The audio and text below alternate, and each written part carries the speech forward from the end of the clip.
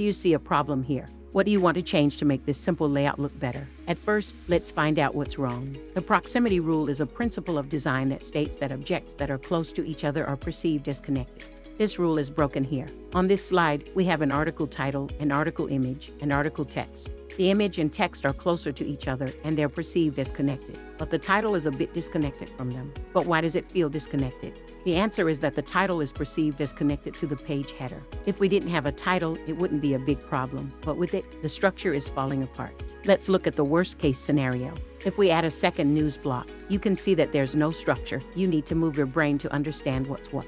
It starts to be a mess without any meaning. Even with a clear, minimalistic style and a cool font pair, it doesn't help. The fix is easy. Let's connect the titles with the articles by decreasing the negative space between them. Now we've disconnected the titles from the wrong things and connected them to the right things, and everything starts looking much better.